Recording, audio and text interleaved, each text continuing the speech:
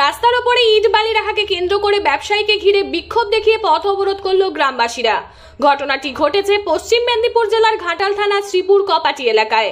স্থানীয় সূত্রে জানা যায়, দীর্ঘ কয়েক বছর ধরে ঘাটাল রানীচক প্রধানমন্ত্রী সড়ক যোজনার পিচ রাস্তার ওপর মালপত্র রেখে রমরমিয়ে চলছে ব্যবসায়ীদের দৌরাত্ম্য। আজ বৃহস্পতিবার সকাল নাগাদ রাস্তার ওপর বেশ কয়েকটি দশ চাকার ট্রাক থেকে রাস্তার ওপর নামানো হচ্ছিল বালি স্টোন চিপ।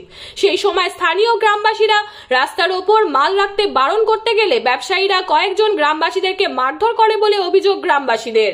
আর এতেই ক্ষুব্ধ হয়ে গ্রামবাসীরা ব্যবসায়ীদের বিক্ষোভ দেখিয়ে পথ অবরোধ করে। খবর পেয়ে ঘটনাস্থলে পৌঁছায় ঘাটাল থানার পুলিশ। পুলিশ এসে পরিস্থিতি সামাল দেয়। পুলিশ সূত্রে খবর, দুটি মালভর্তি ট্রাক আটক করে থানায় নিয়ে যায় পুলিশ। আকাশ দোলয়ের রিপোর্ট সংবাদ পাঠে আমি সৌমিনাথ দত্ত, স্থানীয় সংবাদ।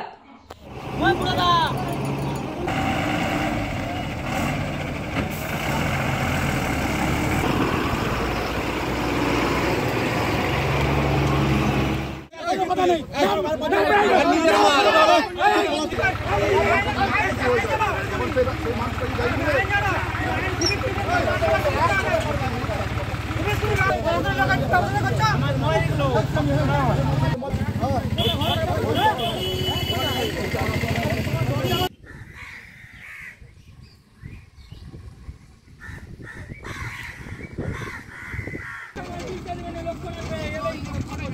What about the other?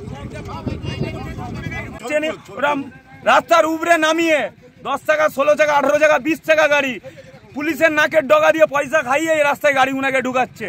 Panchayat বলো পুলিশ বলো সবাই এর মধ্যে ইনভলভ আছে। নালে থানার বুকের সামনে দিয়ে ফাঁড়ির বুকের সামনে দিয়ে ষোলো টাকা আঠারো টাকা গাড়িগুলো ঢুকছে কেন? আমরা গাড়ি নিয়ে যে যাব যে আমাদের গাড়ি চালানোর মতন কন্ডিশন নেই। রাস্তার উপরে লরি বা টঞ্চি ইট সব সময় খালি করছে। কি চাইছো এখন? কি চাইছি বলতে এই জায়গায় টোটাল গাড়ি উনাকে বন্ধ করতে হবে। ইট বালি গুটি বড় গাড়ি টোটাল বন্ধ করে দিতে হবে। নাম? অফিস টাইমে গাড়ি নিয়ে আমরা যাতায়াত অসুবিধা হচ্ছে। এটাকে পুলিশ প্রশাসনকে দিয়ে আপনারা যা করার করুন। আপনার নাম? আমিনুদ্দিন খান। এখানে সেন্টার আছে স্কুল আছে এই দু মাল ফেলে গাড়ি জাম করে দিচ্ছে তার জন্য আমরা অবরোধ করেছি। রাস্তার উপরে মাল পড়ছে? রাস্তার উপরে মাল পড়ছে। কতদিন ধরে পড়ছে? এই অনেক বছর খানেক বন্ধ হয়ে গেল তারপর আবার চালু হয়েছে তার জন্য কে দায়ী থানাও বলছে আমরা জানিনি প্রধানও বলছে আমরা জানিনি। এখন কি চাইছো? আমরা চাইছি যে এই বারো চাকা চোদ্দ চাকা গাড়ি এই রাস্তায় ঢুকা বন্ধ হোক। রাস্তার উপরে মাল না ফেলা না না ফেলায় না মাল না ফেলায় আপনার নাম গণেশ পণ্ডিত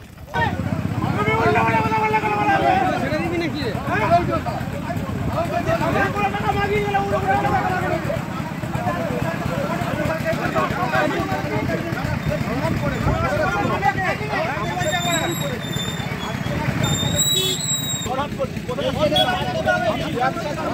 কথা গুলো কোনো কথা গুলো মানে একবারে ব্যবসা মারো ব্যবসা করছেন গেলে